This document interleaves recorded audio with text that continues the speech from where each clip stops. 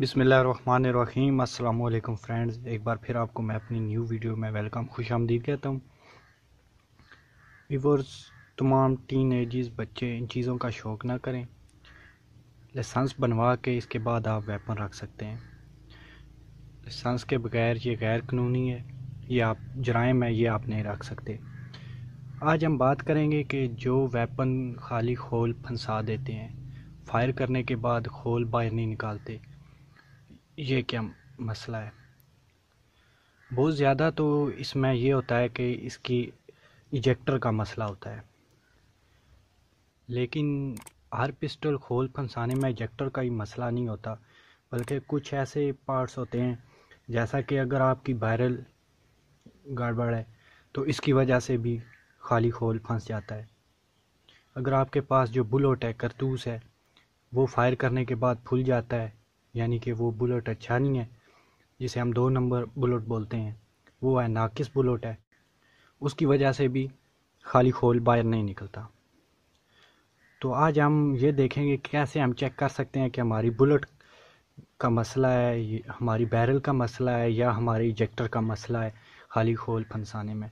अगर इजेक्टर का मसला है तो ये इजेक्टर बाहर कैसे निकालते हैं और न्यू लेके इसे कैसे डालते हैं, ये आज हम इस पे बात करेंगे। सबसे पहले मैं इस वेपन को चेक कर लेता हूँ। ठीक है।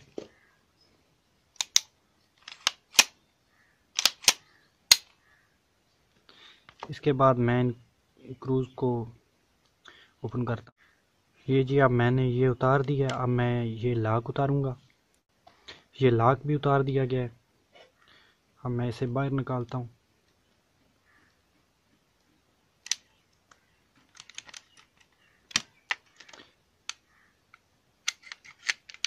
ये जी, हमारा वेपन ओपन हो चुका है।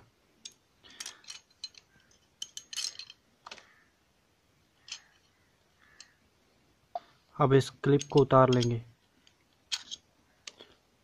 बैरल को बाहर निकालेंगे। ये जी, इस वक्त ये आपके पास इजेक्टर है। ठीक है? ये इजेक्टर है। ये आप अंदर से भी इसे देख लें। इसको इजेक्टर बोलते हैं। अब हमने इसे चेक कैसे करना है? ये इजेक्टर अपनी दुरुस्त हालत में है कि नहीं? काम करता है कि नहीं? आपने सिंपल एक बुलेट लेनी है, ठीक है? बुलेट को इसके अंदर डालना है। बुलेट डालने के बाद आपने ऐसे इसे देखना है कि ये काम करता है कि नहीं। तो इस वक्त जो मेरे पास है, इसका मुझे लगता है इजेक्टर का प्रॉब्लम है। क्योंकि ये देखें, ये बुलेट गिर रही है नीचे। तो आप ऐसे चेक कर सकते हैं। तो आप आप इसे दुरुस्त कैसे कर सकते हैं, ठीक कैसे कर सकते हैं? एक तो ये है कि आप इसके ऊपर थोड़ी सी हैमरिंग करें, ज़्यादा नहीं, मामूली सी। इसके ऊपर पिचकास वगैरह रख के इसके ऊपर हैमरिंग करें। दोबारा, दूसरा ये कि आप न्यू इजेक्टर लेके आए, वो इसके अंदर डाल दें। डालना कैसे है? इस तरह की आप कोई कील वगैरह ले लें, उसे आगे से ब्रीक कर दें।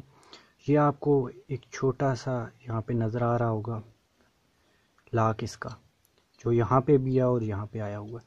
अब यहाँ पे इसे रखना है ऊपर ऊपर से हैमरिंग करनी है तो ये इस तरफ़ से बाहर आ जाएगा और आपने किसी प्लास वगैरह की मदद से इसे निकाल लेना है। ये इजेक्टर यहाँ से बाहर निकालना है, आगे की तरफ़ करके। इसके अंदर एक छोटा सा स्प्रिंग होता है, उसे नहीं गिरने देना। और जाके इजेक्टर देना है शाप पे, वेपन शाप पे, वो आपको इस तरह का इजेक्टर देंगे। आपने इसके अंदर डालना है और यहाँ से बंद कर देना है। ये आपका इजेक्टर का मसला हल हो जाएगा। अगर इजेक्टर का मसला हुआ तो। अगर आपके इजेक्टर को जंग वगैरह लगा हुआ है तो फिर आप थोड़ा सा यहाँ पे इसको जंग को उतार के किसी चीज़ से चेक कर लें, ठीक हो जाएगा। तो उम्मीद करता हूँ आपको ये छोटी सी वीडियो पसंद आई होगी इजेक्टर के मतलब इन आगे मैं फेरिंग पिन हैमरिंग इसके मतलब मज़ीद वीडियो लेके हाज़िर होऊँगा।